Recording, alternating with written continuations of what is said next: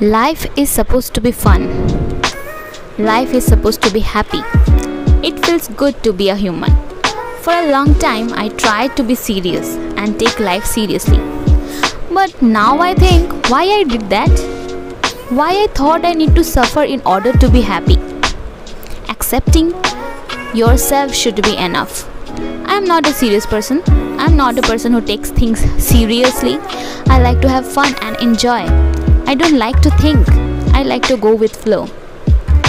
There are people who may not like this nature of mine, but I don't care. We get only one life, and we need to enjoy it and have fun. We need to do whatever we want to do. If I want to eat, I will eat. If I want to sleep, I will sleep. This is it. Living life in a flow, being present, and not thinking too much is my mantra. If I can live like this and follow my instinct and impulses, I'm happy. I know while following my heart, I may sometimes win, while sometimes I may fail. But I am happy. Isn't it what life is like? Living. And also, not to ruin your excitement, but everything works out in the end. It always does. More so when you are happy, when you follow your heart it always works out. Your soul, your heart never lies. It never guides you to the wrong direction.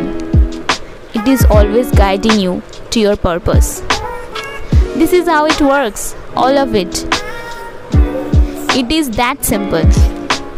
Life is simple and living life is simple. I want to be more and more simple person, living life to the fullest. Not thinking, just being. Making decisions on my instinct, loving and being loved, laughing, having fun, and being the weird one that I am.